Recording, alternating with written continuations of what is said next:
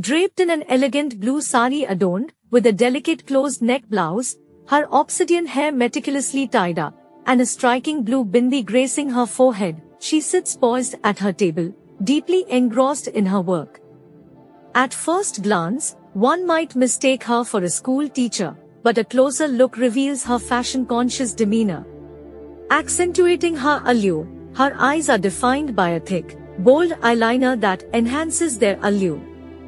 A soft pink lipstick graces her lips, which often curve into a warm smile, attracting a curious crowd of onlookers. With grace, she addresses their inquiries and extends a friendly hand for a handshake, artfully dodging personal questions when needed. Despite her appearance, she is no ordinary human, she is Vyommitra, a humanoid robot. Vyommitra is engineered to replicate human behavior, but that's just the beginning of her fascinating identity.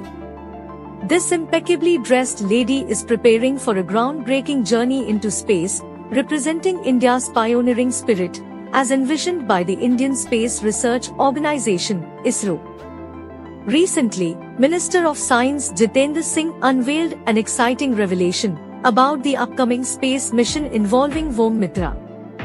During a press conference on space exploration, Minister Singh declared, before dispatching humans into the cosmos through the Gaganyaan mission, ISRO will send a female robot into space later this year.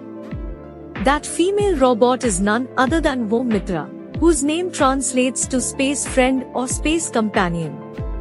Looking ahead to 2024 or 2025, India is gearing up for its maiden manned spaceflight.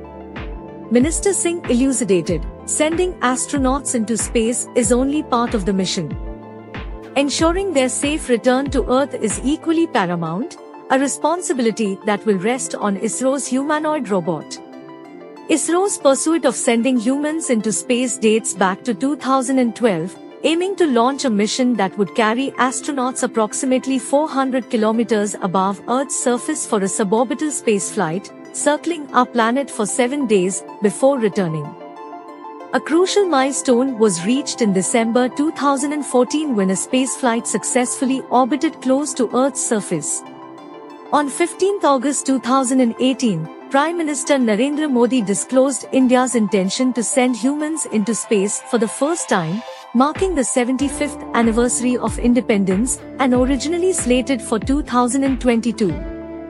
Unfortunately, the timeline faced setbacks due to the COVID-19 pandemic. Work continued from 2020 to 2022, with the mission's target now set for late 2024 or early 2025. This mission distinguishes itself as India's inaugural indigenous human spaceflight, with astronauts staying within the spacecraft for approximately seven days, orbiting Earth and observing it from space, without visiting a space station. This distinction underscores ISRO's heightened concern for astronaut safety, with Vyommitra slated to collect crucial data at a similar distance to the Gaganyaan mission. Vyommitra, created in 2020 in anticipation of the Gaganyaan mission, is a semi-humanoid robot, resembling a human from head to waist but lacking legs, preventing her from walking inside the spacecraft. Nonetheless, she excels in operating the spacecraft's control panel and executing various tasks integral to the human spaceflight mission. In her own words, Vyommitra asserts, I have been created for the human spaceflight mission. I can control spacecraft module parameters, provide alerts, and even simulate human life in space. Augmenting her capabilities, she boasts specialized sensors and the ability to communicate individually with astronauts, recognizing their voices and responding to queries. Minister Singh disclosed plans for two preliminary test missions, likely to occur in October of the coming year, with Vyommitra slated for participation in the second mission. ISRO has clarified that way.